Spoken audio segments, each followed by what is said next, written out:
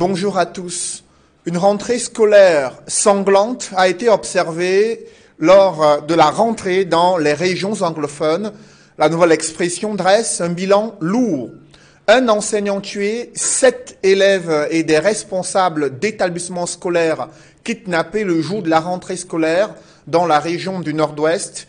Cameroun Tribune évoque à sa une l'indignation du président de la République face à ces agressions d'élèves et enseignants.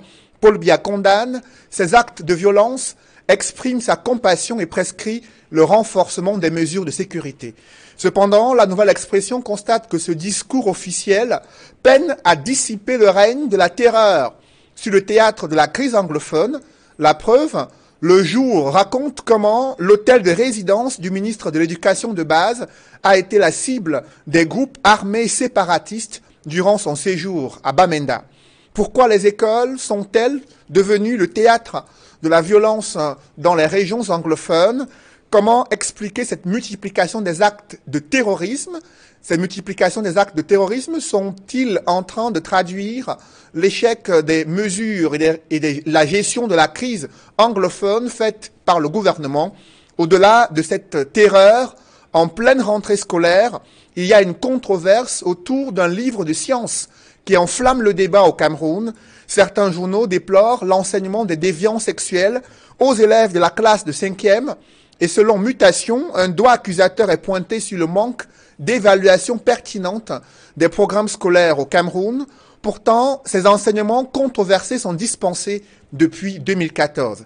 Qu'est-ce qui fâche dans ce livre de sciences S'agit-il d'une pédagogie des questions sexuelles ou alors un complot immoral contre la culture africaine Dans ce contexte de mondialisation, la nouvelle route de la soie se dessine sur le continent africain la Chine, premier partenaire commercial de l'Afrique, compte débloquer 60 milliards de dollars sur trois ans pour financer le développement des infrastructures, la modernisation de l'agriculture et l'assistance aux pays africains en pleine crise humanitaire. Alors que Cameroun Tribune souligne l'offensive de Paul Biya en Chine, d'aucuns s'interrogent sur l'utilisation judicieuse de cet endettement effréné vers les partenaires financiers tels que la Chine, Contrairement à l'optimisme des chefs d'État africains, le quotidien de l'économie révèle que la Chine gagne trois fois ce qu'elle investit en Afrique, ce qui suscite des interrogations sur les enjeux géoéconomiques de la coopération entre la Chine et l'Afrique. Ces problématiques majeures de l'actualité constituent l'ossature de droits de réponse. Mesdames, Messieurs, bienvenue dans cette émission où le choc des idées fait jaillir la lumière des analyses. Et pour cette nouvelle édition de droits de réponse, je reçois sur ce plateau le bâtonnier Charles Chongon. Bâtonnier, bonjour. Bonjour, M. Noufelet. Merci de m'avoir convié euh, sur ce plateau pour essayer ce dimanche d'éclairer l'opinion sur les enjeux des questions que vous venez d'évoquer.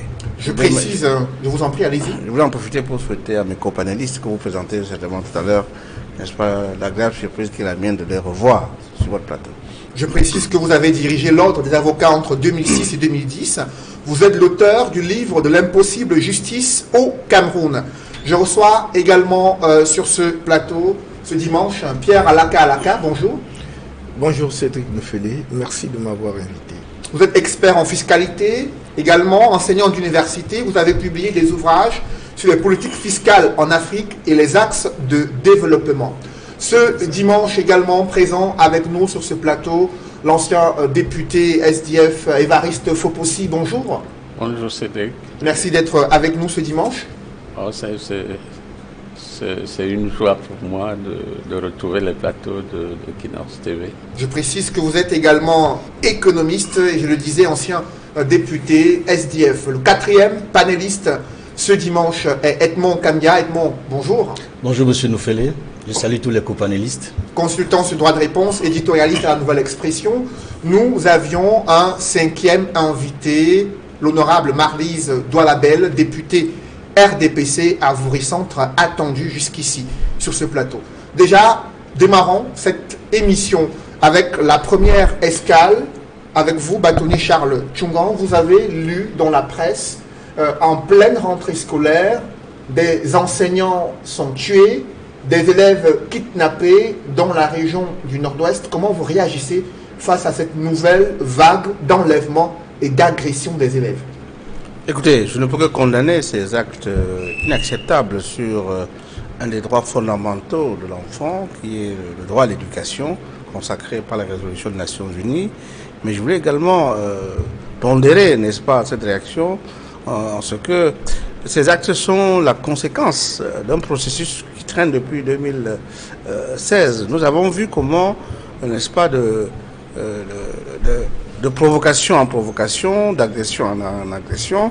Nous en, sommes aujourd'hui en une guerre civile quand que des groupes euh, non identifiés, n'est-ce pas, euh, interviennent en plein jour dans une cité comme Bamenda pour agresser des, institutions chargées de l'éducation des enfants, qu'ils attaquent des forces de l'ordre de sécurité et qu'ils puissent se retirer, ça commence à quand même interroger, n'est-ce pas, le Vegom Pécus.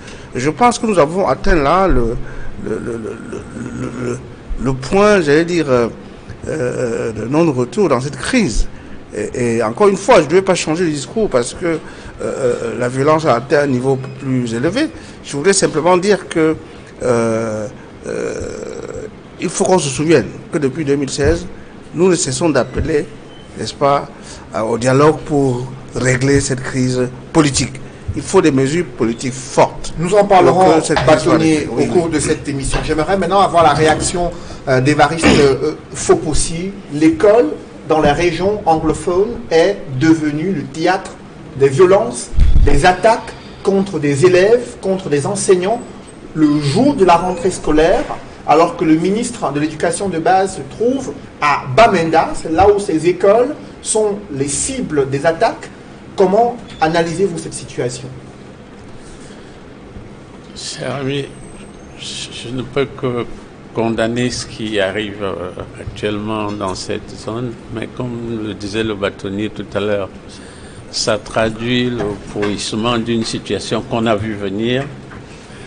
Euh, ça traduit une autre dimension que prend l'incendie qu'on a vu naître et qu'on aurait pu dès le début. On, fait face maintenant à une guerre civile alors qu'il s'agissait des protestations euh, sectorielles. Bref, euh, je crois qu'il est temps qu'on arrête le drame parce que euh, à cette allure, le pays risque de sombrer dans le chaos.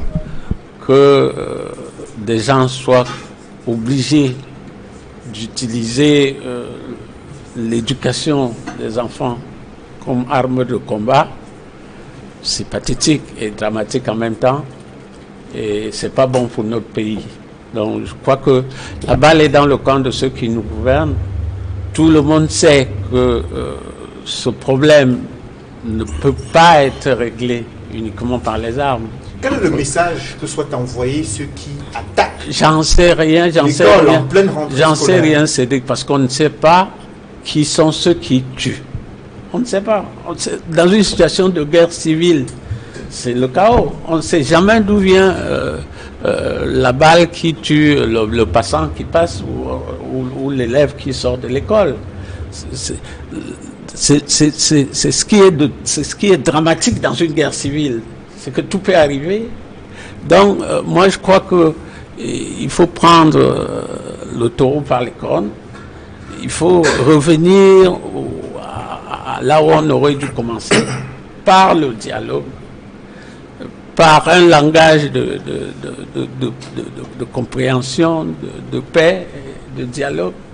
Et c'est sûr qu'on arrivera à arrêter l'engrenage. Mais si on continue dans cette surenchère de violence de, part et d'autre, euh, le pays a encore de, de mauvais jours devant lui. Justement, la presse qui, cette semaine, euh, s'est intéressée à cette question relative à la rentrée scolaire dans les régions euh, anglophones. J'aimerais à présent avoir euh, la réaction de l'honorable députée Marlise Douanabel. Bonjour. Bonjour.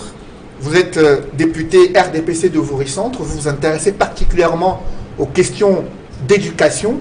Comment vous analysez cette situation dans les régions anglophones? Le gouvernement avait promis plusieurs semaines avant que toutes les mesures sont prises pour garantir le retour des enfants à l'école.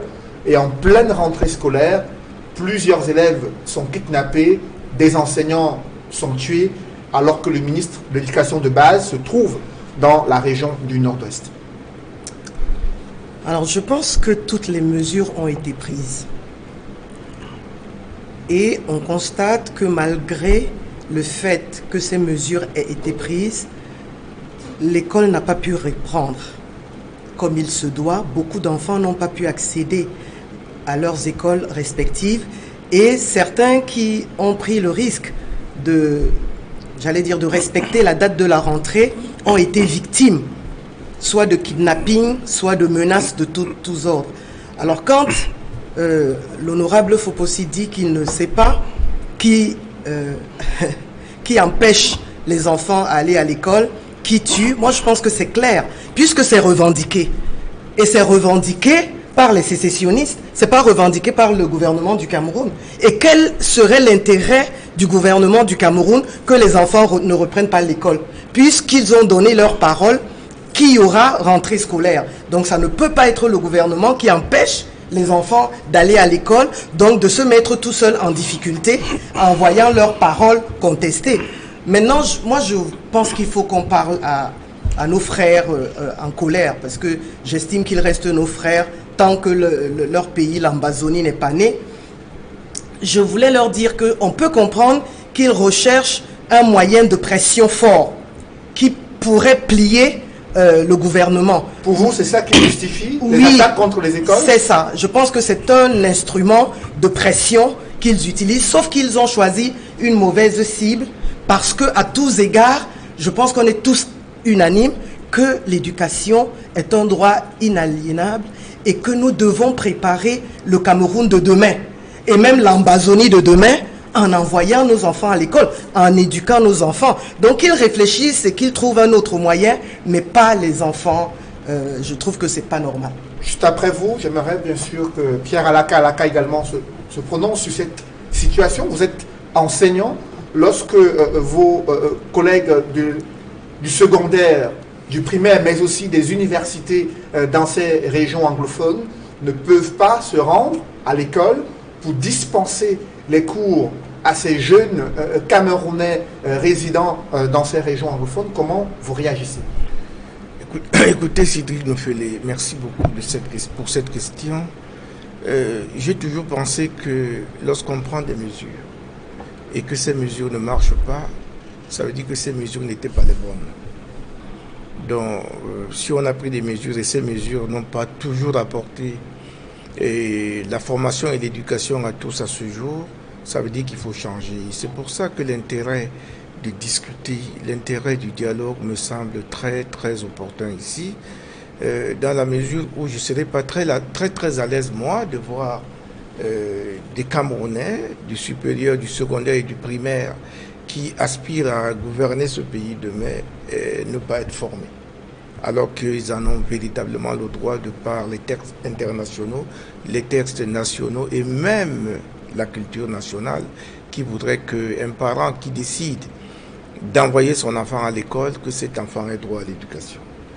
Maintenant, euh, que ces enfants aujourd'hui dans l'Est euh, Cameroun occidental euh, qu'on voudrait séparer et qui aujourd'hui est le nord-ouest et le sud-ouest séparé du Cameroun uni et unifié, pour moi ce n'est pas une très bonne chose ce n'est pas une très bonne chose. Et il appartient à celui qui a le pouvoir de vouloir de régler cette situation. Et celui qui a le pouvoir de vouloir, c'est bien le président de la République. Mais j'ai entendu ça et là dire que comment celui qui a le pouvoir peut discuter avec euh, des gens perturbateurs. Moi, je ne vois pas l'analyse euh, de ce point de vue-là, dans la mesure où, lorsque je vous euh, une chambre prend feu, il ne faut pas dire que cette chambre-là est habitée par les étrangers. Ou c'est pas ma chambre qui prend feu. Il faut éteindre le feu dans toute la maison et c'est celui qui a le pouvoir d'éteindre le feu qui s'appelle le sapeur-pompier. Avant qu'on arrive à cette proposition de sortie de Edmond Kamgia, en regard de ces multiples attaques perpétrées contre les écoles, avez-vous le sentiment que le gouvernement avait mobilisé les moyens nécessaires pour éviter le pire avant cette rentrée scolaire? D'abord, je dois dire que je suis heureux de ce que le bâtonnier Charles Chungan nous rejoint dans une position que nous avons déjà adoptée sur ce plateau, c'est-à-dire que nous avons atteint une position de non-retour. dans la crise anglophone.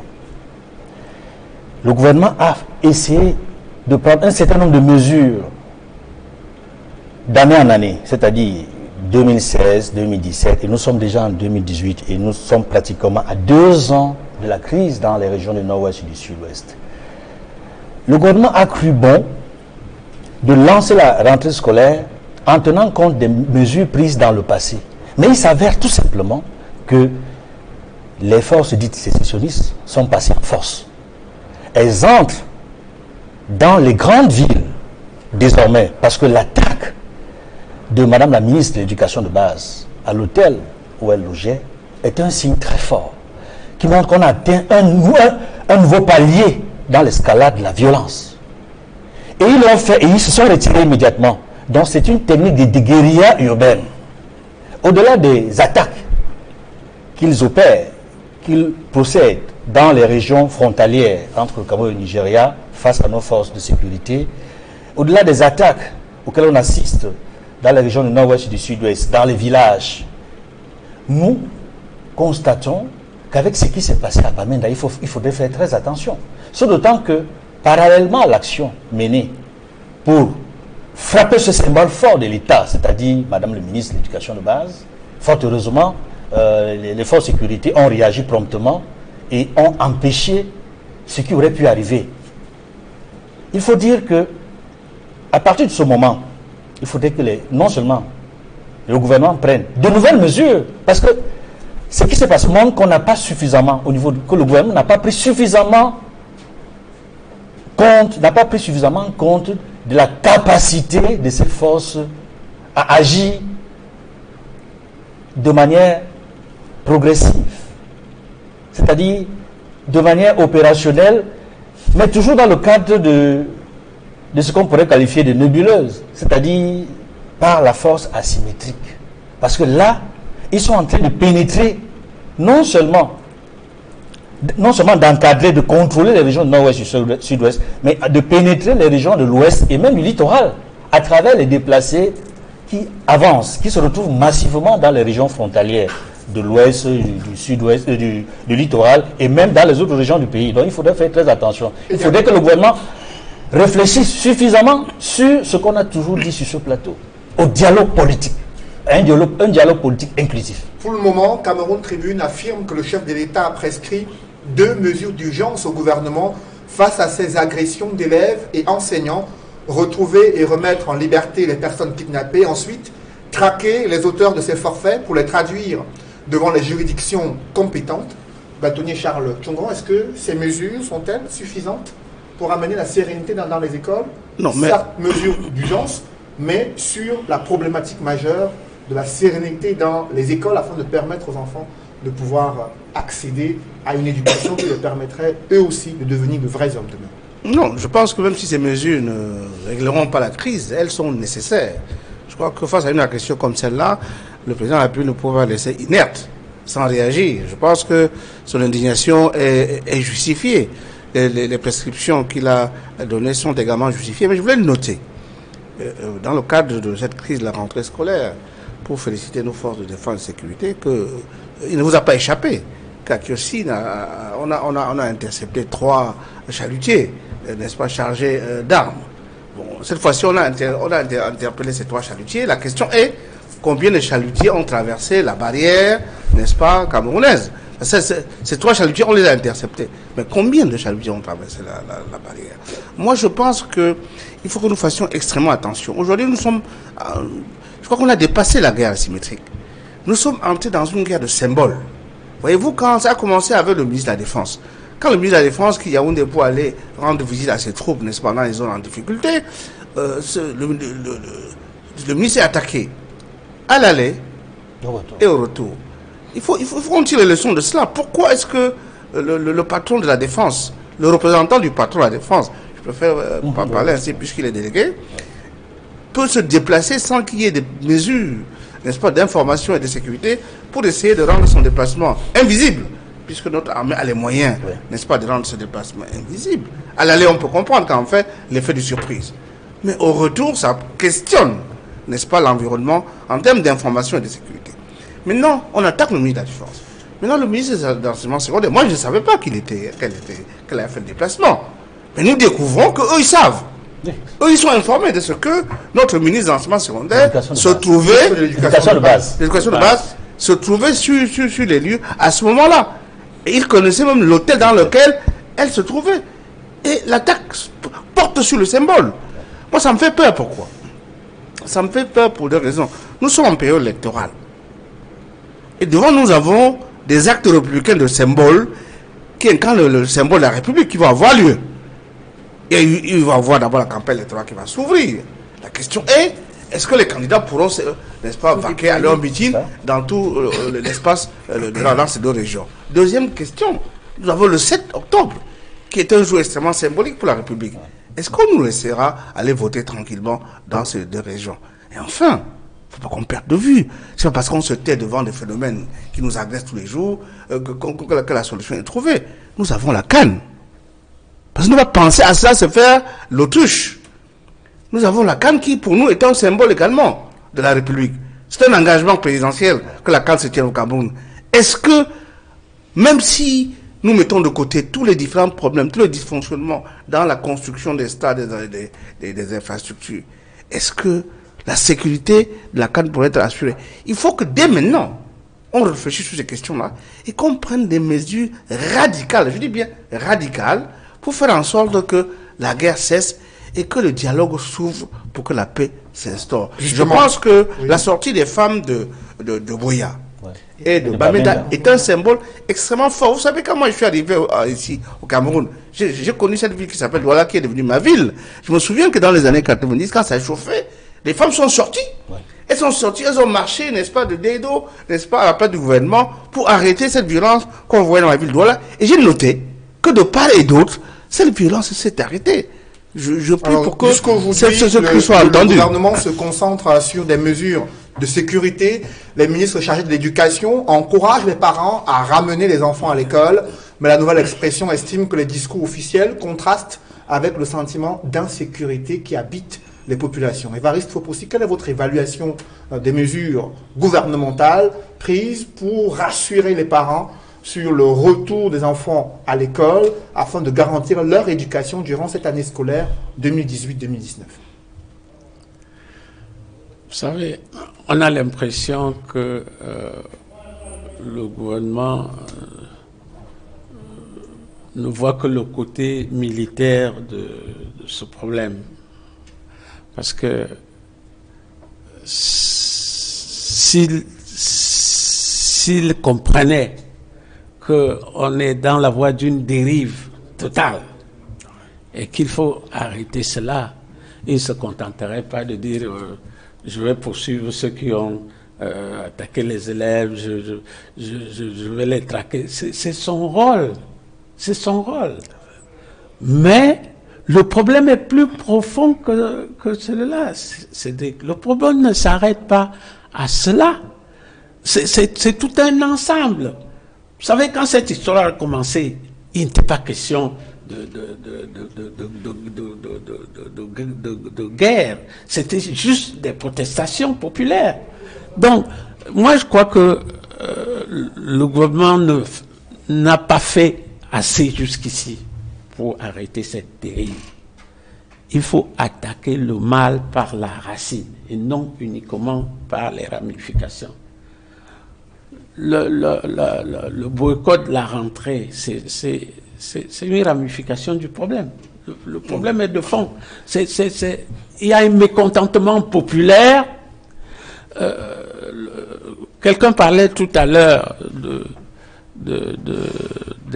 la défense populaire. Vous savez, la défense populaire, ça traduit souvent la carence de, la défense étatique. Quand les gens sont obligés, quand le peuple est obligé de se défendre, ça veut dire que celui qui est chargé d'assurer sa défense n'a pas fait l'essentiel. Et je pense que l'État n'a pas fait le nécessaire jusqu'ici.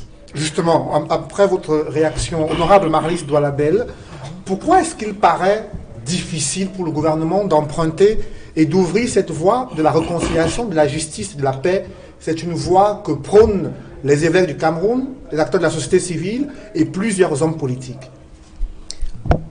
Bien, je vais commencer par répondre à mon ami honorable Foposi pour lui dire que je ne sais pas ce qu'ils ont promis à ces gens-là, aux sécessionnistes. Parce que moi, quand j'analyse la situation, le SDF est plutôt avec nous.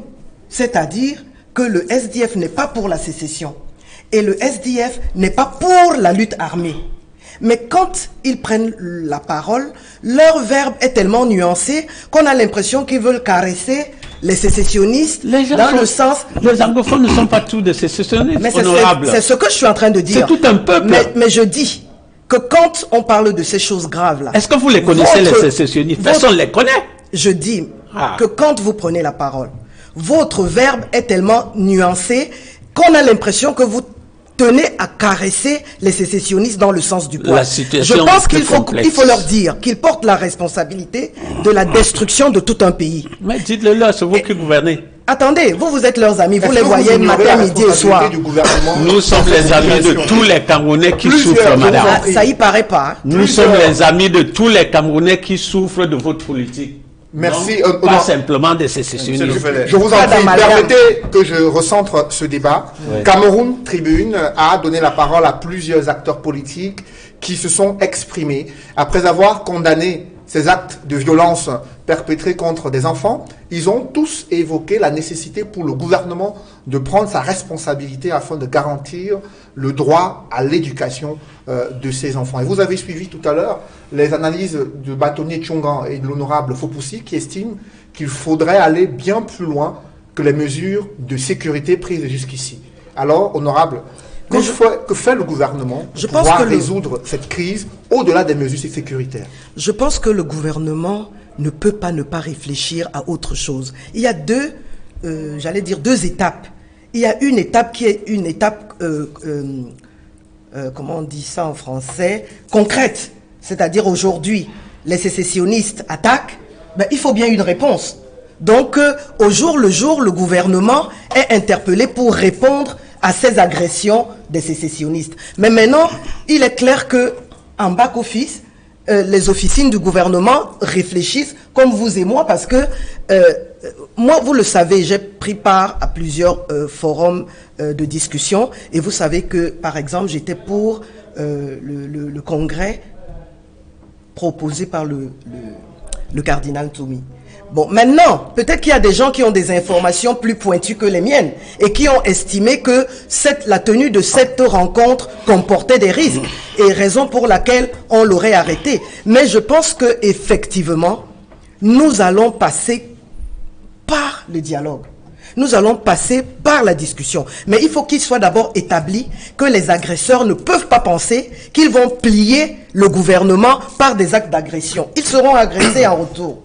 Donc eux-mêmes aussi doivent inviter le gouvernement à, négocier. Eux-mêmes qui ont mis tout un peuple en grande difficulté. Moi, je ne sais pas. Les gens disaient souvent, oh oui, nous préférons encore la guerre à, ce que euh, le RDPC dit que euh, nous, nous, sommes en paix. Mais quelle est cette paix-là? Ce n'est pas une paix. Aujourd'hui, je suis sûr que les gens du sud-ouest et du nord-ouest savent ce que c'est que la paix. Et ils savent ce que c'est que la guerre. Ça fait deux ans que cette crise anglophone perdure.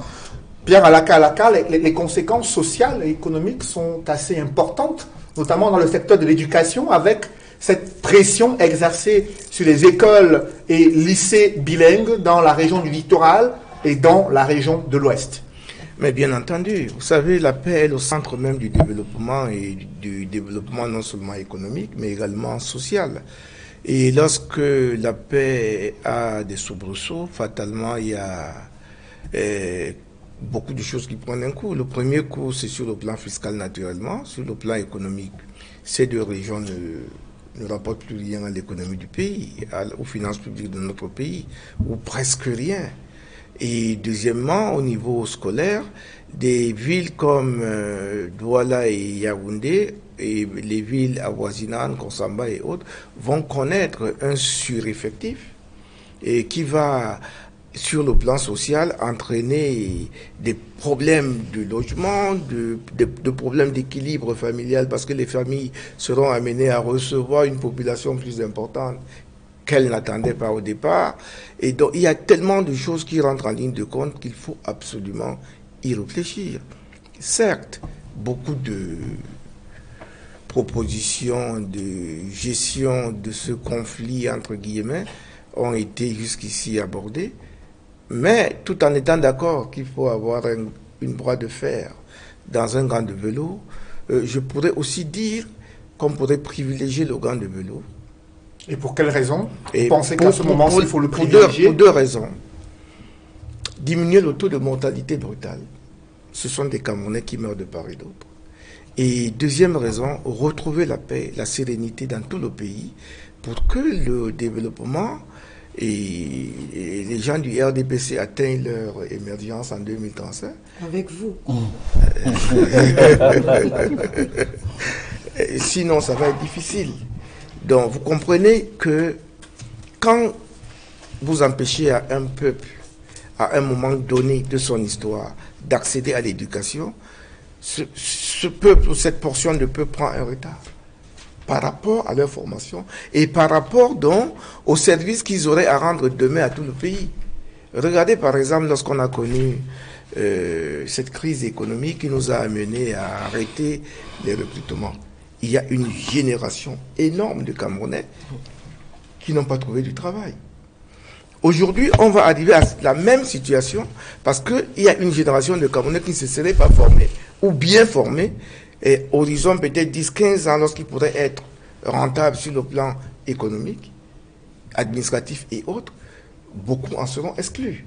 Ce n'est pas bien pour euh, l'équilibre régional dont on parle, ce n'est pas bien même pour la sérénité euh, euh, de la vie en société, ce n'est pas bien de part et d'autre. Et c'est pour cela que ce qui pour moi crée ces situations et qu'on appelle ambazonien, personne. Je ne crois pas qu'il y ait un seul Camerounais normal qui accepte la sécession. Il faut d'abord qu'on s'entende là-dessus. Je ne crois pas.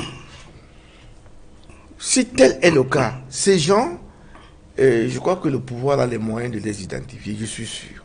Le pouvoir a les moyens de les retrouver, de les mettre hors d'état de nuire et maintenant de poser le problème sur la table. Qu'est-ce que nous faisons maintenant pour qu'on n'ait plus de sécessionnistes? Justement, Edmond euh, la presse analyse depuis les voies de sortie de cette crise.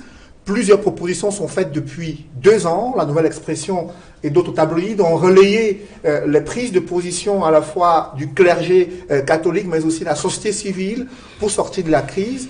Mais le constat sur le terrain, c'est que la situation ne cesse de s'aggraver que faut-il faire aujourd'hui Aujourd'hui, je pense qu'il faut prendre en compte toutes les propositions de sortie de crise des membres de la société civile, des partis politiques et même des personnalités indépendantes. Quand je, pense à ces propositions de sortie de crise, je commencerai par celle de l'Église catholique, du cardinal Toumi, associée à celle des confrères religieux musulmans et protestants, dont le délai a été repoussé. Parce qu'initialement, rappelez-vous, la General Anglophone Conference devrait se dérouler fin août, mais ça a été reporté au mois de novembre, les 21 et 22 novembre.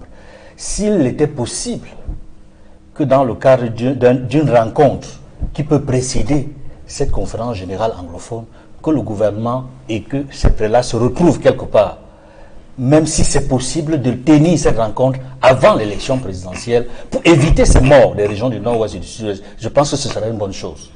Ça, c'est d'un. De deux, il faut dire que depuis le début de cette crise, il y a une chose à laquelle tout le monde a pensé.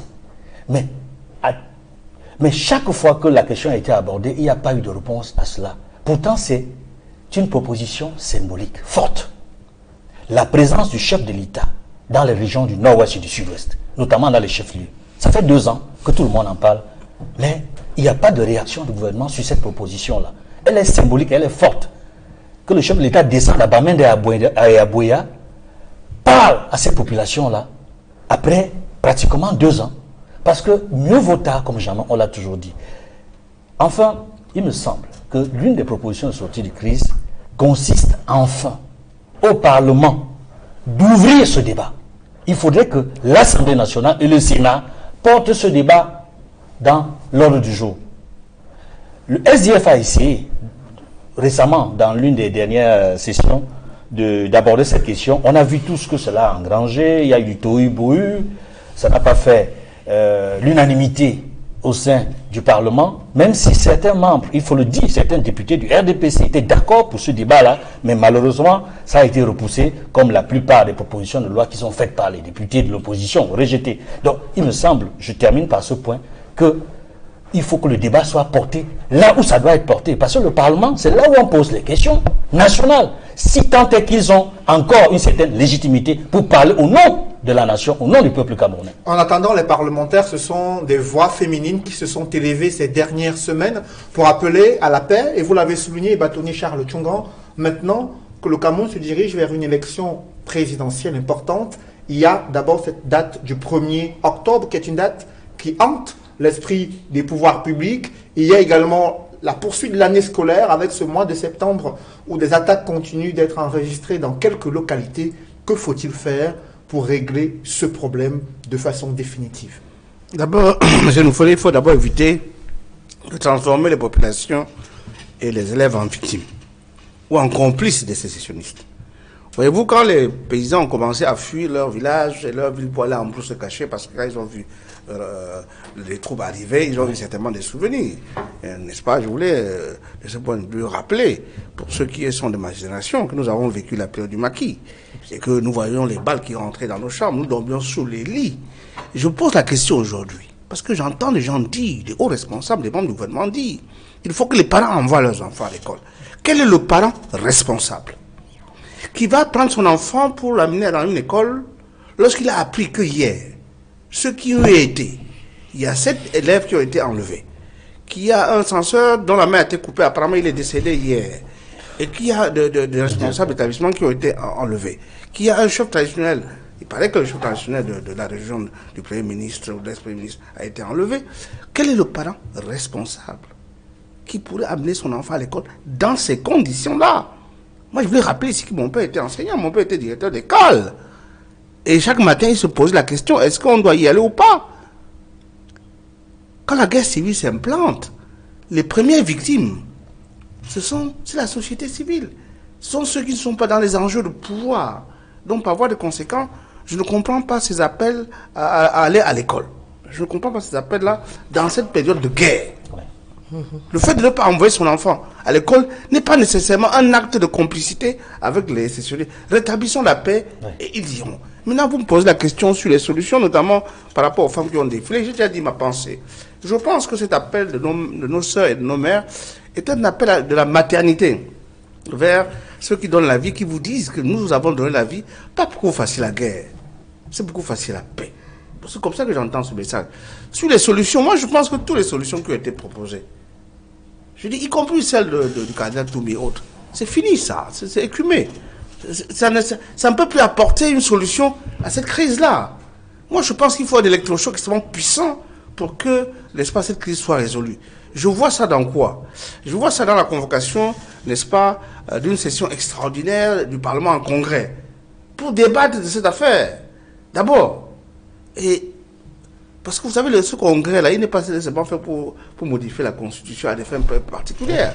Le congrès, c'est quand même le, le, le, respecter la légitimité populaire de la République. Même s'il y a des débats sur la légitimité des uns et des autres, je pense que dans le cas du renforcement, n'est-ce pas, des prérogatives du Parlement, un débat à ce niveau peut être fait. Vous avez vu, je pense qu'on va en parler tout à l'heure, sur la question du livre.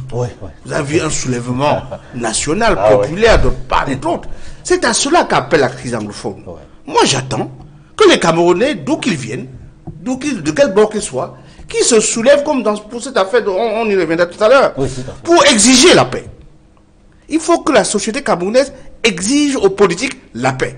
Si nous voulons laisser cette affaire entre les mains des politiques, nous n'aurons pas la paix.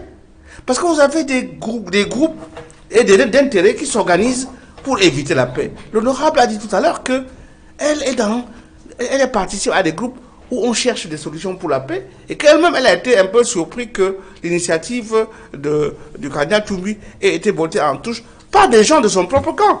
Et ça, nous sommes tous également surpris par le fait qu'on a comme le sentiment qu'il y a des gens qui ne veulent pas la paix.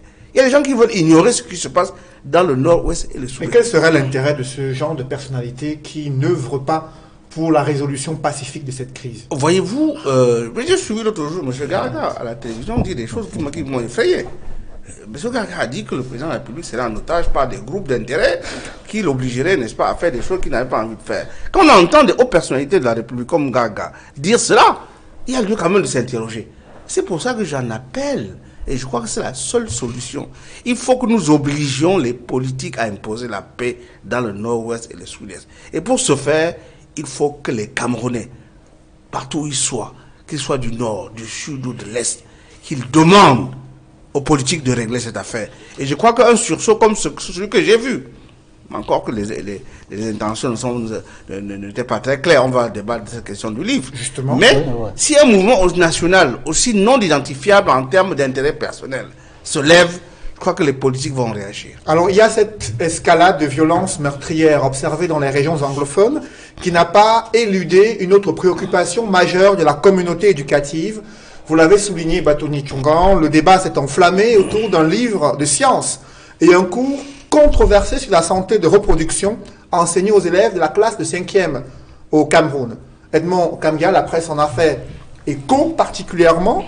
Qu'est-ce qui choque le Camerounais dans ce livre de sciences pour les enfants euh, en classe de 5e Et il faut le dire, euh, la nouvelle expression, le jour, mutation, pratiquement tous les journaux, tous les quotidiens et même les hebdomadaires, bi-hebdomadaires, tri-hebdomadaires, relayés par l'audiovisuel, la radio, la télévision, privée comme publique, ont abordé cette question, chacun en tenant compte sa ligne éditoriale. Mais d'une manière générale, on sent de part et d'autre, dans la presse écrite, dans, dans les médias que nous avons pu parcourir, que les Camerounais se sont globalement révoltés contre la manière dont l'ouvrage présente la question de la sexualité aux élèves de la classe de 5e.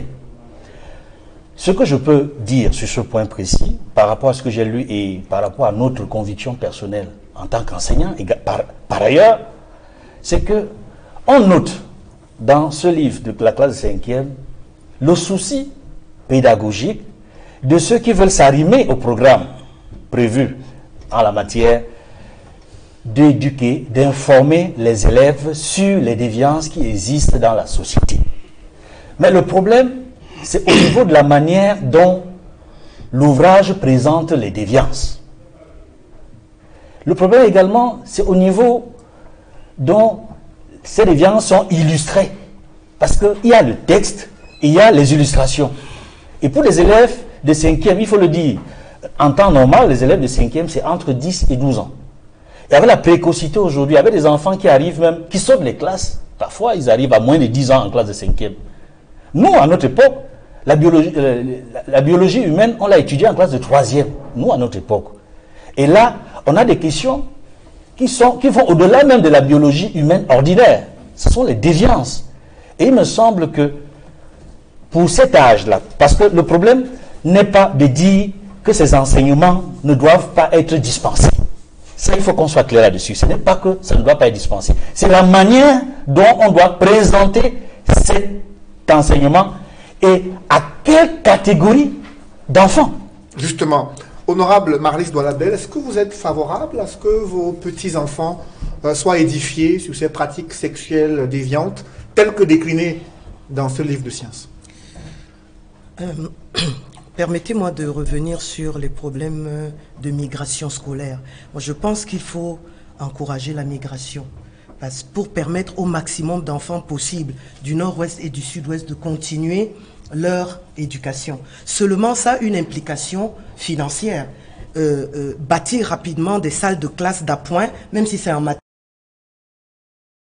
provisoire, et recruter du personnel pour que leur migration ne crée pas un problème à ceux qui sont des, j'allais, dire, qui ont déjà d'autres types de problèmes. Hein. Le sureffectif, par exemple, a des conséquences sur la capacité d'apprentissage des enfants. Ça ne sert à rien de les récupérer alors que finalement, on ne leur rendra pas, on ne leur donnera pas une véritable éducation. Donc je me dis, un, encourager qu'on reçoive tous ces enfants. Deux, rapidement mettre en place des structures pour qu'ils puissent suivre des programmes euh, de manière correcte. Maintenant, euh, concernant l'ouvrage dont il est question, l'ouvrage querellé, je suis concerné à plusieurs titres.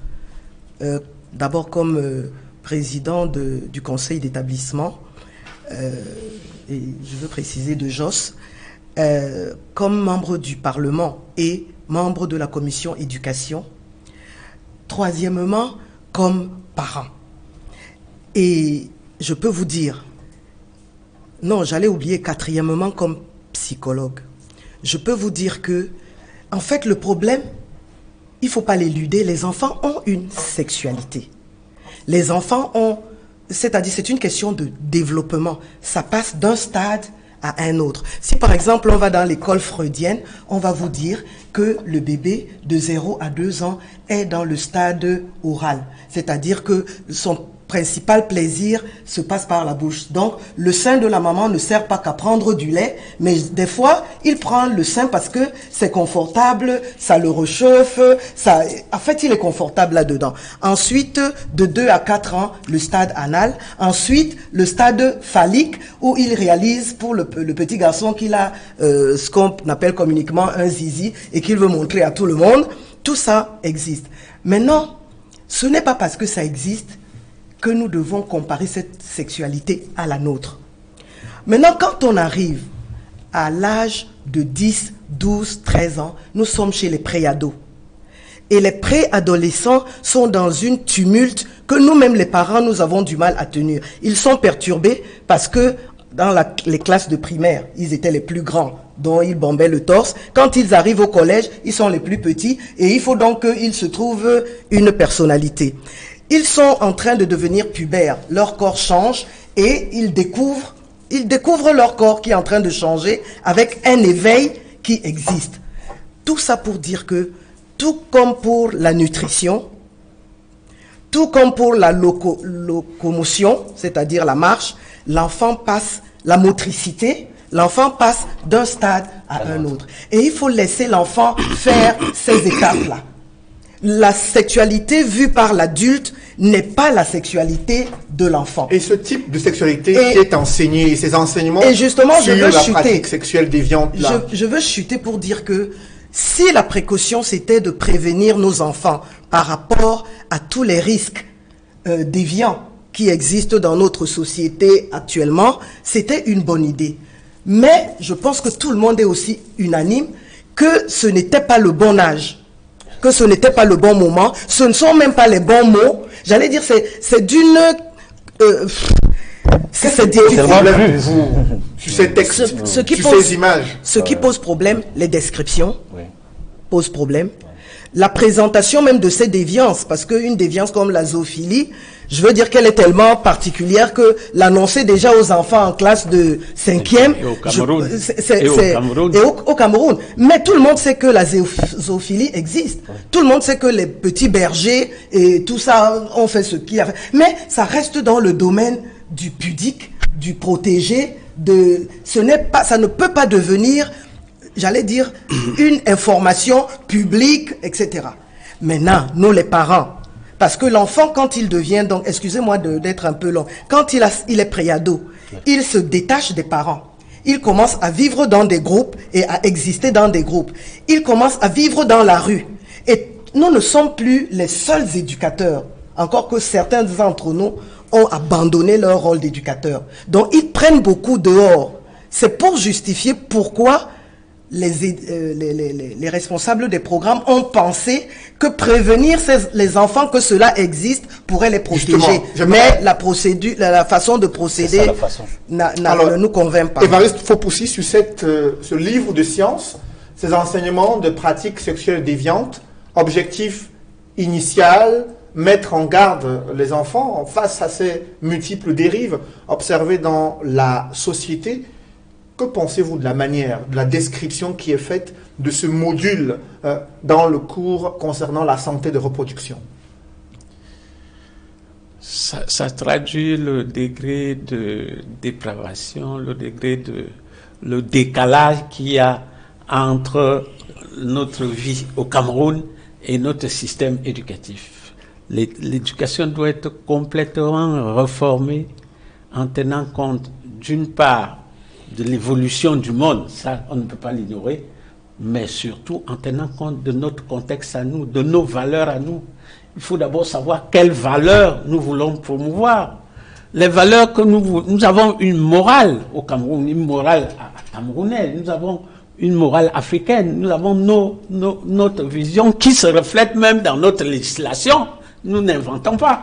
Donc, moi, je crois que euh, il ne faut pas simplement prendre euh, ce, livre de science. Si, vous allez dans tous les, les, livres au programme, vous trouverez des inepties de cette nature. Prenez les livres d'histoire dans, le livre, dans, un livre d'histoire, là, il y a déjà la campagne de, du candidat de, de, On en parlera. Non, c'est pour vous dire que. Hein. Non, non, je le dis. Je le dis. C'est pour vous dire que tout est déphasé. Il faut une réforme totale de, de l'éducation chez nous. D'abord en réappropriant nos valeurs, en promouvant nos valeurs en promouvoir nos valeurs morales et scientifiques, et ensuite en, tenant compte de la situation euh, économique et sociale du Cameroun. Il faut que, le système, le système éducatif réponde à nos besoins, à nous, pas aux besoins de l'Occident, pas aux besoins de gens qui, qui sont déjà au niveau du JAR. Nous ne sommes pas encore au niveau du JAR au Cameroun. Alors, il y a, encore, y a, on est encore au niveau de l'homme et de la femme. mais eux, ils sont au niveau du JAR. De mondialisation culturelle avec l'accès pour les jeunes hein, de ces euh, informations concernant. Oui, mais c'est pour, ça, que pour ça que je chute, c'est pour ça que je chute en disant que le combat, le, le, le vrai combat qu'on doit mener et, on retrouve même euh, le, sujet qu'on a évoqué tout à l'heure, c'est qu'il faut, une nouvelle vision des choses. Et cette nouvelle vision des, des choses, mettre à parler tout à l'heure du peuple qui doit parler, moi je ne pense pas, on n'est pas encore au niveau du soulèvement populaire, mais le peuple, le 7 octobre, justement, le, le, gouvernement, 7 octobre, le gouvernement a, peuple a une arme. d'apporter des réformes au niveau euh, des cours destinés aux élèves de la classe de 5 On en parlera, je vous en prie. Oui, faut aussi. permettez qu'on évolue dans cette émission. Pour une nouvelle éducation. Pierre Alaka Alaka, sur la question de ces enseignements euh, de pratiques sexuelles déviantes, qui vise à sensibiliser à première vue euh, les jeunes élèves sur l'existence de ces pratiques. Les pouvoirs publics estiment que c'est l'approche par compétence, qu'il faut d'abord identifier ces comportements déviants dans un premier temps et ensuite euh, interpeller les enfants sur les dangers auxquels ils sont exposés. Est-ce que vous partagez ce point de vue? Euh, Je crois qu'avant qu'on commence à discuter de cette question, il y a eu une, unanimité sur ce plateau qui tendait à penser que ce sujet-là, il y a eu un lever de bouclier national. Simplement, parce Que, simplement parce que il y a des questions qui relèvent de l'éducation familiale et qui atteignent l'éducation nationale à un certain âge. Et la sexualité fait partie de ces questions-là. Et vous vous rendez compte, euh, une fille, une jeune fille qui ne connaît rien à un moment donné, sa mère se rend compte que, attention, il y a quelque chose. À partir de maintenant, tu deviens une femme, voilà comment tu vas te comporter à partir de telle période du mois. Ça commence à la maison. Maintenant, on voudrait que ça commence à l'école et en cinquième. Que, qu'on parte de l'éducation familiale à l'éducation nationale sans transition. Admettons et qu'il s'agit ici de l'éducation à la procréation. Mais moi, je crois que de tout temps, euh, dans la formation de l'homme, on pose la règle avant les exceptions à la règle. Même à l'école, dans une dissertation, on nous dit, vous faites d'abord la thèse, avant l'antithèse. Le principe avant les exceptions au principe. Mais ici, nous sommes dans une situation où on nous présente l'antithèse sans qu'on sache quelle est l'étendue de la thèse. On nous présente les exceptions à la règle sans qu'on nous dise quelle est la règle. Moi, je crois que... Quels sont les risques lorsqu'on les, les, risques, c'est que, les risques, c'est que ces enfants-là, dans 10 ans, ils vont être majeurs et ils ne vont plus considérer ces comportements comme des comportements criminels, mais ils vont considérer ces comportements avec un mot si gentil, la, déviance. Oh, mon camarade est déviant. Mais non. On banalise. On banalise la chose. Voilà le but recherché. Et c'est ça qui est inacceptable. C'est cela qui est inacceptable dans la mesure où vous ne pouvez pas éduquer un enfant. Vous dites à l'enfant, euh, euh, ne touchez pas au feu, et vous commencez par lui dire, voici le feu, touchez-le, on le touche comme ça, ainsi de suite. Mais qu'est-ce que vous vous attendez? Et de surcroît, les enfants aujourd'hui, ils sont très intelligents et ils savent imiter. Nous sommes adultes. Nous nous comportons, nous, comme si nous n'avons pas fait la classe de cinquième. Ces enfants-là, nous avons été enfants comme ces enfants-là aujourd'hui. Au nom de quoi nous voulons légiférer à leur place? Qui a légiféré à notre place à cette époque? Vous allez peut-être me dire, oui, ça a changé, il y a Internet. Oui, ça a changé avec ces enfants. Ils savent qu'il y a Internet. Laissons les enfants grandir, présentons-nous, présentons-leur les outils de la procréation tels que Dieu les a créés et disons-leur tout ce qui n'est pas, qui ne rentre pas dans ce cadre, eh bien, c'est de la criminalité. Justement, une levée de bouclier quand même qui suscite des interrogations sur la conception et l'élaboration des programmes scolaires.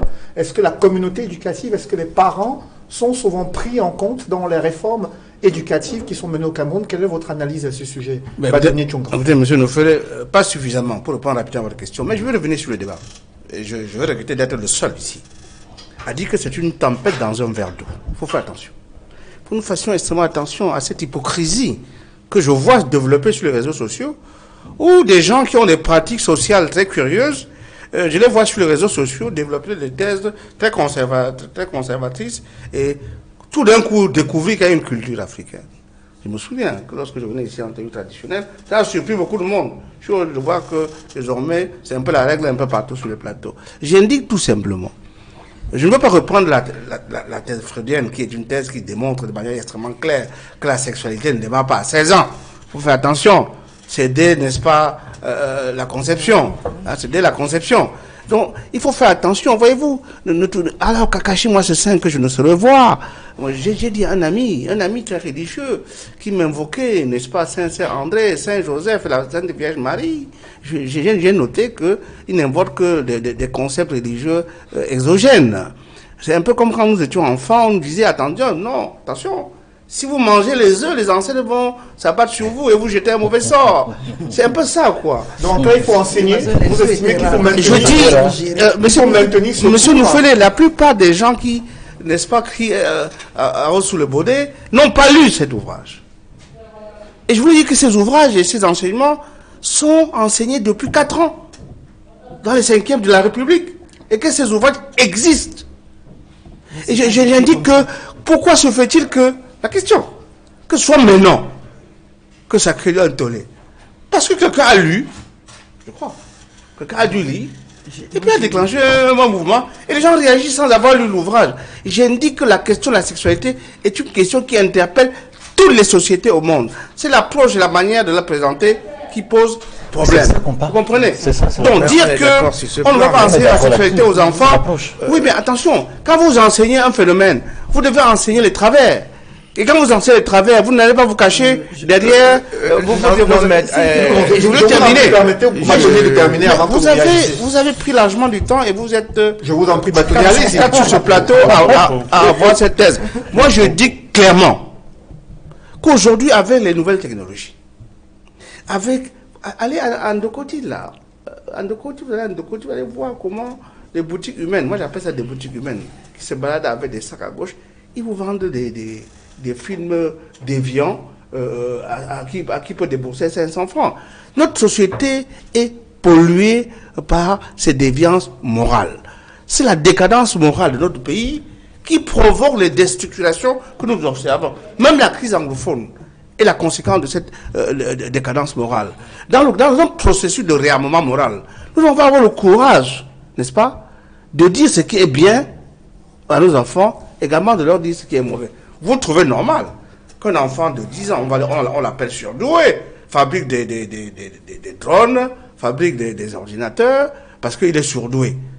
Mais vous trouvez qu'il n'a pas l'âge, n'est-ce pas, de connaître ce qu'il est, n'est-ce pas, sur le plan biologique. Ça, ça, questionne. Mais si vous m'interrompez, allez-y, allez-y. Ça, ça, questionne et, n'est-ce pas, ça interroge. Regardez notre monde tel qu'il est.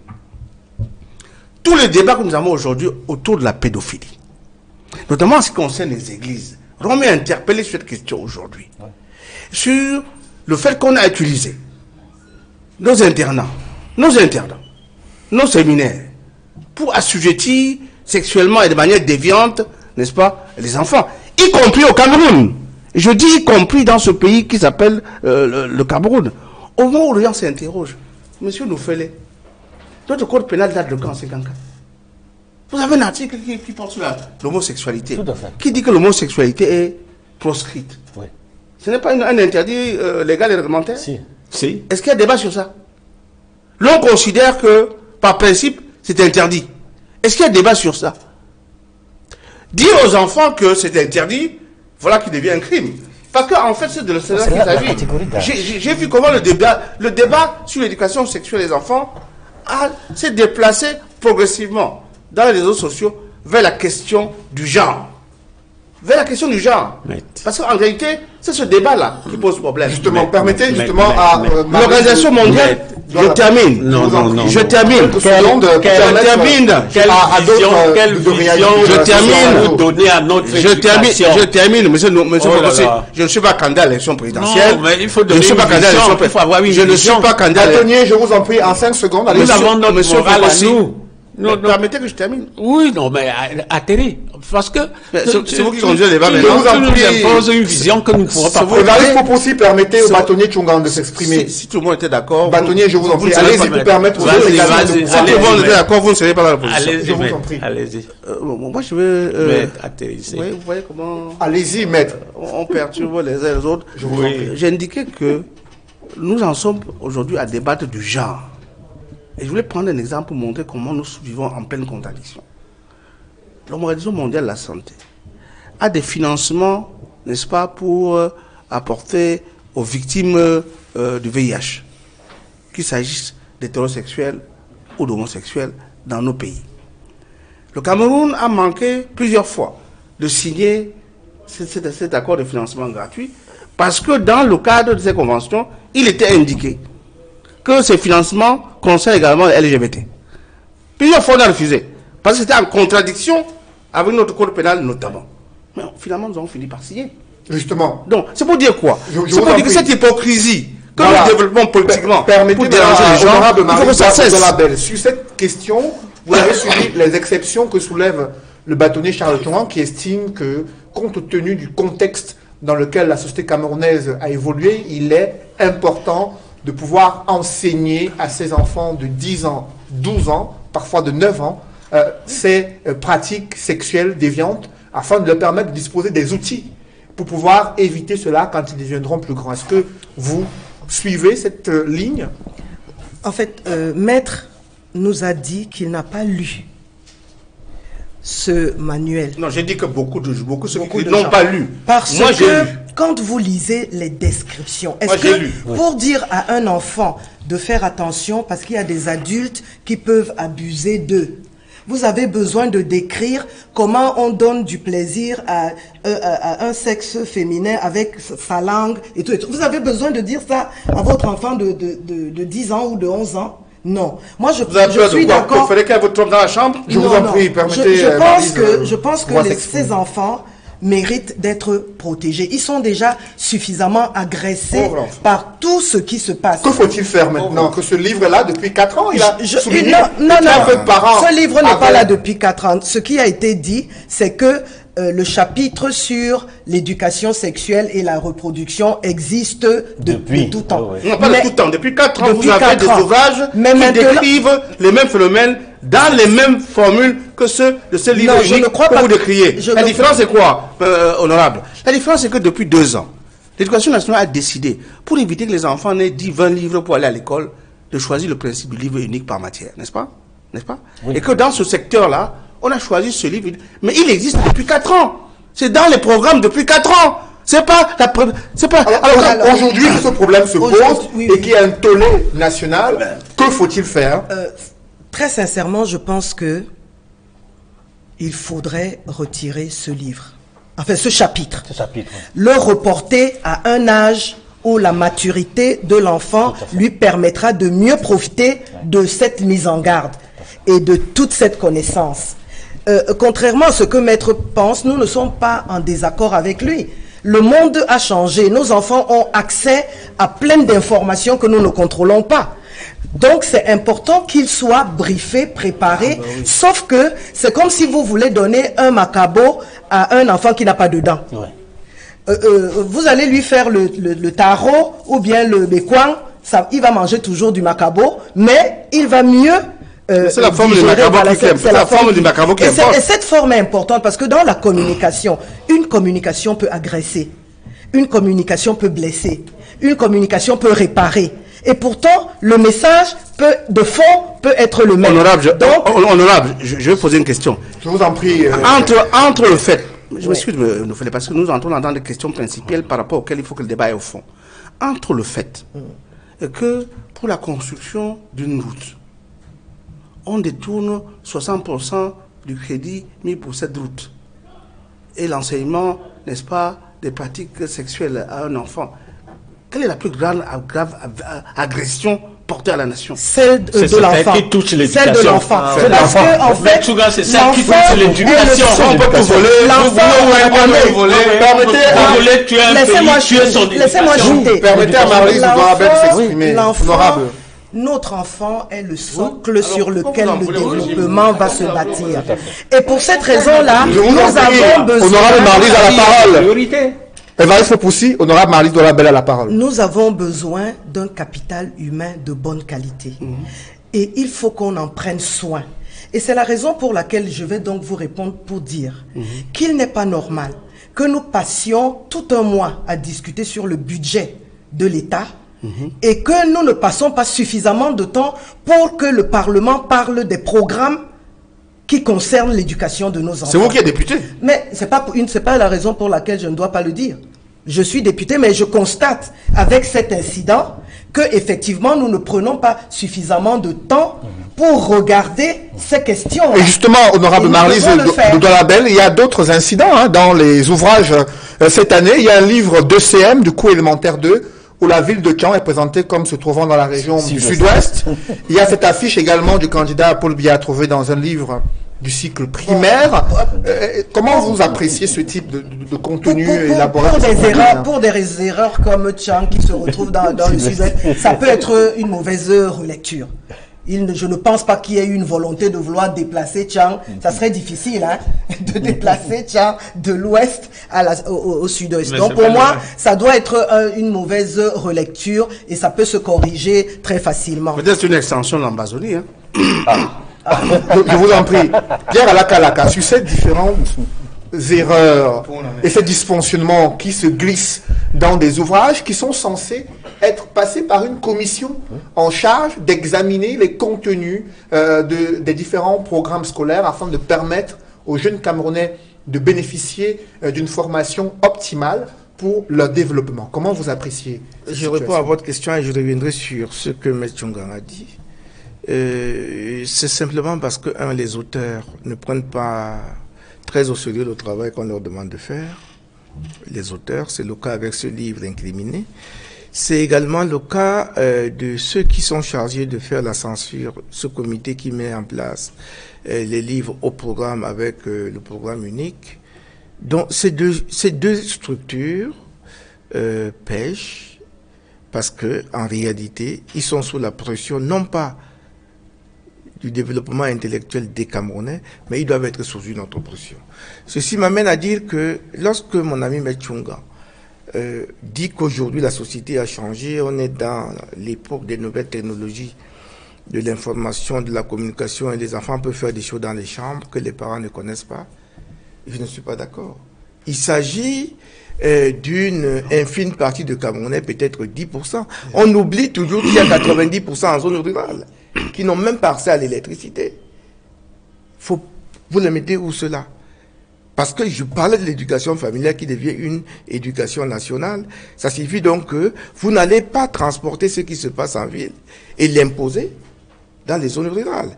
Vous allez à Bukito, à Ombessa, vous faites six mois sans électricité. Les téléphones sont éteints. Et puis les enfants n'ont pas de téléphone là-bas, les parents sont pauvres. C'est partout à l'intérieur du pays. Donc on ne peut pas euh, regarder ce qui se passe dans les grandes villes comme étant la règle pour ceux qui ne sont pas dans tout, le- dans toute l'étendue du territoire. Ça, c'est la première chose. Et que faut-il faire maintenant quand, face à ce chapitre qui euh, suscite une polémique et qui suscite cette levée de bouclier? Ben, il faut retirer le livre. Je suis parfaitement d'accord avec Honorable. Il faut, il faut Le retirer, il faut retirer et, et le livre ou le chapitre, qu'importe, c'est le livre qui comprend le chapitre. Il faut le retirer. Et les auteurs doivent être poursuivis. Parce qu'il y a une disposition du code pénal qui est contre l'homosexualité et les méthodes et, et dépravantes. Le code pénal est toujours là, ça réprime ça. Lorsque des auteurs s'asseyent à 4 ou à 5 pour mettre ça dans les programmes, avec les mots, moi j'ai connu la zoophilie dans ce livre. Je l'ai lu, maître. tu es en retard.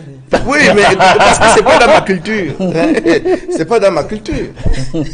Moi, ma culture, euh, maître la connaît. Je, je, je suis dans une autre culture, du normal, du réel et du naturel. Voilà ma culture. Donc, ces gens doivent être poursuivis. Le procureur doit se saisir d'une situation comme celle-là. Ça, Mais il faudrait que je pose une question quand même au professeur. Je vous en prie, bâtonnier, Charles, je pose des questions, je pose des questions sur ce plateau. Évariste aussi, permettez qu'on avance. Dans le cadre de l'émission, on parlait euh, des solutions à apporter. Il y en a qui estiment qu'il faut retirer le chapitre, d'autres pour la réforme du système éducatif. Et le bâtonnier réappropriation euh, de- Tchunganki a donné également son point de vue. Et vous le savez, l'implication du Parlement et, dans et le... vous le savez, messieurs, et, et avec Et vous le savez, messieurs, mesdames, qui sont nombreux, hein, des jeunes Camerounais, des jeunes élèves, qui sollicitent déjà les bourses chinoises hein, après l'obtention du baccalauréat de la licence. La Chine est désormais le premier partenaire commercial de l'Afrique. Et cette Chine a annoncé le déblocage de 60 milliards de dollars sur trois ans pour développer les infrastructures. Tous les chefs d'État africains présents à- au sommet Chine-Afrique ont applaudi cette coopération Chine-Afrique. Avec vous, Évariste Fopoussi, comment appréciez-vous cette lune de miel entre l'Afrique et la Chine? Tout est vraiment rose avec cette coopération économique, ces milliards de dollars injectés sur le continent africain? Oh, la, la Chine est actuellement euh, le pays le plus commerçant au monde. C'est le pays qui commerce le plus, qui anime le plus le commerce mondial actuellement. Donc, la Chine euh, se bat pour ses intérêts. Si la, la, la Chi- Chine est en Afrique, c'est pas pour de la charité, c'est parce qu'elle trouve son compte. La Chine avait besoin de matières premières et, et- des matières premières euh, à bas prix. Elle s'est aperçue que la plupart de ces matières premières, les Européens les, les extrayaient chez nous avant de les lui vendre. Et elle, elle est allée directement au but. Donc, moi, je, je crois que euh, la Chine ne fait pas du sentiment. Euh, la Chine est actuellement le premier partenaire de l'Afrique parce qu'elle trouve son compte. Et elle met les moyens. Dans un premier temps, euh, euh, de manière illimitée, elle a endetté ces pays.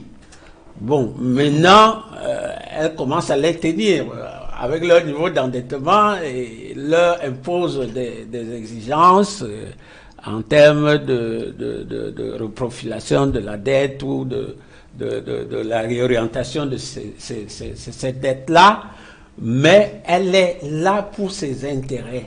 Donc, euh, moi, moi, je crois que les, les, les 30 000 milliards, parce que ce, ce- 60 milliards de dollars, c'est à peu près 30 000 milliards de francs CFA, les 30 000 milliards qu'elle met à la disposition des pays africains, c'est à la hauteur des, ambitions chinoises en Afrique et, de leurs besoins euh, pour euh, de leurs besoins en matière de commerce avec l'Afrique. Donc, n'oubliez pas le- le- le- leur fameuse euh, idée de la route de la soie. Ils estiment que cette route de la soie passe par l'Afrique pour arriver en Amérique. Donc, nous sommes, nous, sommes, nous sommes, sur cette ligne-là. Donc, la Chine est plus volontariste que n'importe quel autre pays au monde à l'heure actuelle. Et elle met les moyens. Elle a, elle a une vision plus, plus, plus longue, une vision plus élaborée que les autres. Alors, dans cette vision, justement, dans cette nouvelle route de la soie, bâtonnier, elle euh, ne fait pas de cadeaux, donc il ne faut pas croire qu'elle nous fait des cadeaux. Alors, bâtonnier Tongan, cadeaux. vous décryptez chaque jour ces multiples enjeux géoéconomiques avec la Chine désormais qui se positionne euh, devant euh, l'Europe, devant euh, les États-Unis, sur le continent africain, réunit presque tous les chefs d'État en Chine et leur promettre 30 000 milliards de francs CFA sur trois ans. Comment vous appréciez cette nouvelle donne géoéconomique Écoutez, moi je suis toujours surpris par la lé- lé- légèreté avec laquelle nos entrepreneurs politiques analysent les phénomènes économiques mondiaux. Euh, Alors, on, on- alors, on- on a, on a converti en, en, en- en francs CFA pour impressionner vos, vos téléspectateurs. 60 milliards de dollars, c'est rien du tout. Vous prenez 60 milliards de dollars, il y a 53 pays. Vous faites, vous faites- faites une division, ça fait 1 milliard de 250 millions, millions de dollars par pays. Qu'est-ce que vous faites avec ça? Vous construisez une autoroute avec ça? C'est pas possible. Il faut faire attention lorsque nous analysons les relations internationales. Euh, les États n'ont que les- des intérêts. En cela, je suis d'accord avec lui. Mais en ce qui concerne la Chine, la Chine pour l'Afrique, il faut féliciter, il faut se féliciter de ce que les États africains coopèrent avec la Chine. Il faut se féliciter en ce que nous ayons, en tant que Cameroun, des bonnes relations avec l'Afrique. Ouais. Mais la Chine. question qui se pose aux Africains aujourd'hui, c'est pas ces annonces qui, qui ont, que- qui Est-ce fait que les Africains en bénéficient mais non, puisque les 60 millions de dollars, milliards de dollars, ce ne sont pas euh, des prêts euh, euh, accordés. On annonce un chiffre en vous disant que sur trois ans, nous sommes prêts à vous accorder des prêts à intérêt sur trois ans. Sur ces 60 milliards, toujours sur trois ans, il n'y a que 15 milliards qui vous seront accordés à taux zéro. Donc, c'est un. Nous, non, c'est pas parti de don. C'est pas de don. Nous entrons dans un cycle d'accroissement de notre endettement. Parce que c'est de cela qu'il s'agit. Pourquoi nous sommes vers la Chine? C'est parce que notre taux d'endettement vis-à-vis de l'Occident et d'autres pays partenaires classiques a atteint des niveaux où les taux d'emprunt près de ces pays, près de ces marchés, sont tellement élevés que nous n'avons plus la capacité d'assurer, n'est-ce pas, le concours, n'est-ce pas, de la dette. Je voulais dire également qu'en ce qui concerne ce- ce- ce- ce- cet endettement, si vous regardez l'analyse sur, n'est-ce pas, la consommation, n'est-ce pas, des fonds BIP, le budget d'investissement public, le taux a baissé de presque de 12% par rapport à l'année dernière aujourd'hui. C'est-à-dire des emprunts que nous avons signés, que nous sommes en train de rembourser et que nous ne consommons pas. Là également, il y a, il y un questionnement. Donc, je, je termine parce que je crois que vous n'avez plus beaucoup de temps. C'est que la Chine, pour nous, pour l'Afrique et pour le Cameroun, la Chine est une opportunité. Est-ce qu'on en tire réellement profit? Ça fait La- de nombreuses années. la réponse est que non. Le Cameroun. Et pourquoi? Même Pourquoi si- le Cameroun peine à tirer Même profit si alors que les- parce- le Cameroun est l'un des pays les Parce plus que importants qui bénéficient Parce des que notre investissements chinois? logiciel économique, excusez-moi, parce que maintenant, vous savez, j'ai quitté le droit pour m'intéresser de, faire la monnaie à l'économie, parce que notre logiciel ne marche plus. Il faut changer de logiciel. Regardez avec euh, l'Union européenne, nous avons signé les APE. Quand nous nous retrouvons avec les, experts des APE, ils nous posent la même question. Qu'est-ce que vous nous proposez comme produit pour que nous puissions les faire entrer en, droit de douane en, Europe? Zéro, on n'a rien. Mais la Chine, c'est exactement la même chose. Imaginez, prenez un, seul exemple que j'ai pris et que j'ai expliqué dans le cadre d'un think tank dans lequel je suis, un, éminent membre de, ce de notre gouvernement, que nous demandions à la Chine de nous donner, par exemple, quatre mairies. Quatre mairies, c'est quand même quelque chose comme 400 à 500 millions d'habitants en Chine. Hein? Qu'on nous donne le marché, par exemple, des, des cuillères en bois. Par exemple. Vous imaginez le, le- le nombre de devises que ça pourrait rapporter au Cameroun Parce qu'une balance commerciale, c'est quoi? C'est moi, je te vends, je t'achète des choses, je te vends des choses, tu me vends des choses, tu m'achètes des choses, et on équilibre. Justement, et la, et, et la nous sommes des consommateurs permanents. autre, justement, concernant. Faire, je vais terminer. Nous sommes des consommateurs permanents des produits manufacturés en dehors de notre continent. une réalité, et nous sommes des exportateurs de nos matières premières. Les difficultés pour les pays africains à pouvoir exporter vers la Chine. Pierre Alaka Alaka, cette- ces enjeux géoéconomiques entre la Chine et l'Afrique. Plusieurs pays, présidents africains estiment que la Chine est un bon partenaire commercial qui injecte des milliards de dollars sur le continent africain sans trop demander de choses en, en retour, contrairement aux anciens euh, bailleurs de fonds, traditionnels bailleurs de fonds. Est-ce que c'est votre analyse? Est-ce que cette route de la soie qui se dessine à travers le continent africain profite réellement aux Camerounais, aux Tchadiens ordinaires Ben, je fais déjà mien le développement de Metchunga. Euh, les États africains devraient comprendre que pour faire le commerce avec la Chine, il faut appliquer la transitivité enseignée en mathématiques. Les Chinois se sont développés aujourd'hui parce que les Chinois ont envoyé des gens en Occident pour voler leur technologie.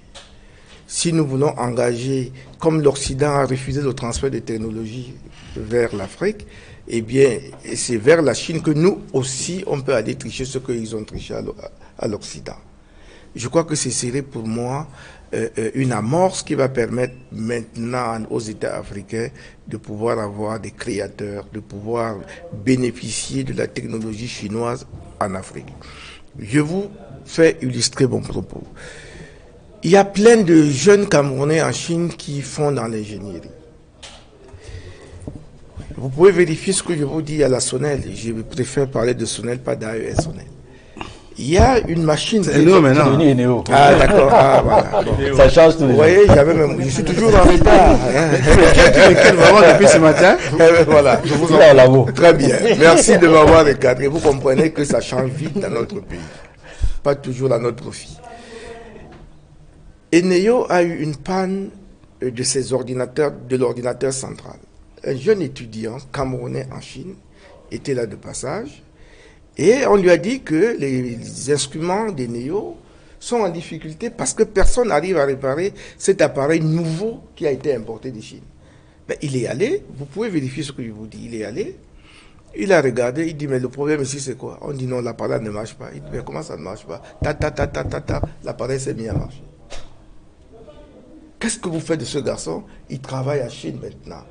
Le Cameroun ne l'a pas ramené à la fin de ses études ici. Est-ce que vous vous imaginez ce que nous perdons? J'illustre mes, mes, propos par cet exemple pour vous dire que c'est par là que ça. Donc le transfert de technologie qui doit être une priorité dans le cadre de cette coopération. Qui ne s'appelle pas ici transfert, qui s'appelle aller apprendre et ramener. Tout à fait. Le problème de l'Afrique, c'est que euh, ceux qui sont là, qui occupent des postes, ont peur, et voilà, ont peur de voir de nouveaux venus qui vont prendre leur poste dans leur gâteau. Ça, c'est d'un. Et de deux, ceux qui sont là, qui n'ont plus de compétences. Vous vous imaginez une secrétaire sténodactylographe et qui était les yeux et les oreilles du patron et la bureautique arrive, si elle ne s'arrime pas, qu'est-ce qu'elle va faire? Elle va brutaliser toutes celles qui vont arriver avec la bureautique. C'est pas ça Justement. Nous sommes dans, dans ce cas. et il faut donc évoluer dans Honorable Marlis Doualabel, le, le, le, le, président de la République euh, qui a sollicité euh, de la part de la Chine une, une, annulation partielle ou totale de la dette. Il a évoqué le fait que les finances publiques sont mises à mal parce qu'il y a la guerre contre Boko Haram, il y a la guerre contre euh, la sécession euh, dans les régions anglophones. Mais plusieurs autres hommes politiques estiment que le chef de l'État, c'est plutôt une mauvaise gestion des finances publiques qui expose le Cameroun à cet endettement euh, qui revient après, bien sûr, l'annulation de la dette en, en 2006 avec l'atteinte du point d'achèvement. Alors, cette nouvelle coopération Chine-Afrique, Chine-Cameroun, est-ce que pour vous, les Camerounais en profitent Concrètement, comment faire pour en profiter davantage pour le quotidien ordinaire des Camerounais qui se plaignent de cette présence quand même? Des Chinois sur le sol camerounais. Quand on demande l'annulation d'une dette, moi je pense que c'est dans l'ordre normal des relations bilatérales qu'on peut entretenir sur le plan économique. Et les arguments qui euh, plaident euh, à, cela sont effectivement objectives. Quand le président de la République dit qu'il est en difficulté à cause des différents conflits euh, armés, je pense que ce n'est pas, il n'a pas inventé cela. Maintenant, je, voudrais aller plus loin pour dire que cette fameuse nouvelle route de la soie euh, entre 2018 et 2023 peut nous apporter quelque chose. Si nous exigeons d'avoir, par exemple, euh, des, centres de développement économique du côté du nord en ce qui concerne le coton, qu'ils nous, nous amènent l'industrie qui nous permette d'améliorer notre production en coton. Et en ce qui concerne les, euh, le transfert de technologie, moi, je ne parlerai pas de transfert de technologie parce que la technologie, on l'achète. Ce qui est important, c'est le transfert des compétences. Ou on la vole. Ou on la vole. Mais le transfert des compétences, c'est très important et souvent, effectivement, nous avons oublié de la pratiquer. Quand les Occidentaux ou les Asiatiques arrivent, ils font ce qu'ils ont à faire et à la, à la, à la fin de leur euh, durée de séjour, ils s'en vont. Il est important que nous mettions en place des grilles d'évaluation de ces personnels-là et qui ne peuvent être rémunérés entièrement que si effectivement on a la preuve qu'ils ont transféré les compétences requises à leurs collaborateurs camerounais euh, euh, N plus 1, par exemple. Et souvent, on ne le fait pas. Maintenant, qu'est-ce qu'on vend aux autres? Mais on ne peut rien vendre aux autres. Parce que nous n'avons pas suffisamment travaillé dans le domaine du respect des normes et des standards. Nous devons travailler, parce que notre culture habituelle ne nous force pas à cela. Je dis souvent que quand tu dis à un Camerounais un angle droit à 90 degrés, c'est ça, non? Il va faire 91 degrés. Et quand tu te fâches, il te dit, oh, mais elle dérange. Un, degré, c'est quoi? Sauf que j'ai vécu l'expérience, les palettes là, les palettes, à force d'ajouter un demi-millimètre, à force, les palettes n'entrent plus dans un camion. Donc ça veut dire que nous devons nous astreindre à respecter les normes internationales parce que autrement personne n'achète chez nous. C'est un, effort extrêmement important. Donc moi, je voyais avec les Chinois le développement du, de la filière coton, le développement de la filière rotin et bois. Edmond il y a une volonté de bénéficier de ces financements chinois. Mais les Camerounais ordinaires, les commerçants détaillants camerounais se, se plaignent de, de cette présence euh, importante euh, des Chinois dans certains euh, domaines d'activité sur lesquels le Cameroun, ou du moins les Camerounais ordinaires, n'ont plus le privilège, ne semblent plus être protégés par les pouvoirs publics. Ça pose le problème des négociations, des accords commerciaux entre le Cameroun et ses différents partenaires. Tout à fait, cela pose le problème de, la négociation des accords de, de coopération sur le plan commercial et économique sur cette question qui a été largement répandue dans les développements, dans, les journaux et ailleurs, je pense qu'il y a problème. Il faudrait que le Cameroun revoie un peu ça, parce que nous ne pouvons pas avoir un partenaire très important, qui est la Chine, qui est sollicité par l'ensemble des pays africains et même par les pays occidentaux. N'oubliez pas que les États-Unis, depuis l'administration Obama et même avec Trump, tout le monde court vers la Chine. Les pays occidentaux, les pays européens courent vers la Chine. Donc nous devons y aller, mais en tenant compte de la situation des producteurs locaux, des commerçants locaux. On ne peut pas avoir au Cameroun des Chinois qui sont à la fois euh, grossistes et détaillants. Cela pose problème. Il faudrait qu'au niveau des accords de coopération, qu'on puisse euh, aménager une formule qui permette, n'est-ce pas, de protéger les entreprises locales, de protéger les commerçants locaux. Je dois, avant de chuter, je dois dire que ce qui se passe aujourd'hui montre à suffisance que l'alternative qu'on appelle le BRICS est en train de porter des fruits. C'est-à-dire le groupe de cinq pays, Brésil, Russie, Inde, Chine, Afrique du Sud, Tout ça, qui s'est constitué comme alternative par rapport aux institutions de Bretton Woods, est en train de montrer qu'elle est capable de, jouer à une sorte, d'équilibre par rapport aux institutions, aux institutions financières internationales qui aujourd'hui nous ont suffisamment démontré qu'elles ne sont plus capables de nous apporter ce que nous attendons, le bien-être des populations, tout simplement. Merci, euh, messieurs. C'est la fin de cette émission. Merci, honorable Fopoussi, d'être venu avec sur ce plateau. Vous êtes économiste. Merci au bâtonnier Charles Tchongrand d'avoir participé à ce débat. Merci à vous, Pierre Alaka Alaka, enseignant et expert en fiscalité. Honorable Marlise Doualabel, merci également d'être venu. Edmond Kamgia, consultant éditorialiste à la Nouvelle Expression. merci d'être venu. Vous êtes député RDPC. Messieurs, merci de nous avoir suivis. Merci de rester sur Equinox euh, Télévision.